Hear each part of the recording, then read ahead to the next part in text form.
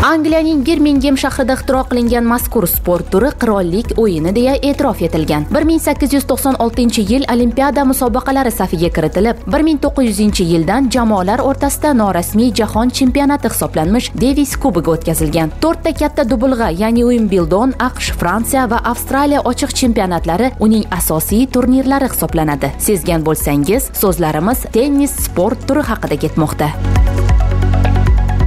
Bugungi kunga kelib mazkur qiziqarli hamda foydali sport turi yurtimiz qolaversa olmaliq shahar yoshlari o'rtasida keng ommalashmoqda. Bu esa nafaqat tennisning rivojlanishi balki yosh avlodning salomatligini mustahkamlashda ham muhim omil bo'lib xizmat qiladi. Joriy yilning 4 oktyabr kuni o'zbekiston tennis federatsiyasi tashabbusi bilan olmaliq kon metallurgiya kombinati xodimlari kasab uyushmasi kengashining jismoniy tarbiya va sport bo'limi to'garaklari tarbiyalanuvchilari uchun tashkil etilgan master klass mashg'uloti ham chempionlik sari eltuvchi bir mahorat darsi bo'ldi. Shu kuni shahrimizda o'zbek professional tennischisi o'zbekiston respublikasida xizmat ko'rsatgan sportchi o'zbekiston iftixori butunjahon o'smirlar o'yinlari bronza medali sohibi osiyo tennis federatsiyasi vitse prezidenti iroda to'laganova mehmon bo'ldi Ракетный вид спорта продлевает жизнь на 10 лет. shuhrat medali sohibasi iroda to'laganova bu kabi aksiyalarni o'tkazishdan asosiy maqsad aholi o'rtasida tennisni ommalashtirish hamda yosh sportchilarga quvonch bag'ishlab ularni yangi marralar sari ilhomlantirishdan iborat ekanligini aytdi. Shu bilan birga raketkali sport turi inson umrini uzaytirishini hamda aqliy qobiliyatini charxlashini aytar ekan. Yurtimiz sportchilarining xorijiy turnirlardagi g'alabalari mamlakatimizda ushbu sport turiga qaratilayotgan e'tibor mevasi ekanligini ta'kidlab o'tdi.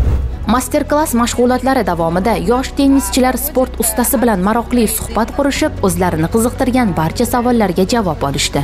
Shu bilan birga tennis bo'yicha 2023 yilgi o'zbekiston kubogi g'oliblari hamda mamlakat chempionatining sovrindorlari kristina mayer va gulsina halimulinalarning qimmatli maslahatlariga ham quloq tutishib kortda tennis bahslariga kirishishdi.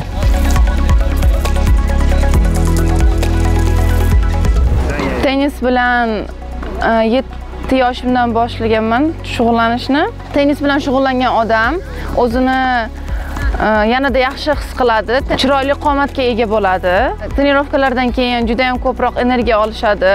Tennis sportida juda ham ko'p do'stlar orttirganman va bundan keyin ham ko'proq musobaqalarga chiqishga harakat qilaman. Tennis eng zo'r sport turi. Tennis bilan shug'ullaninglar.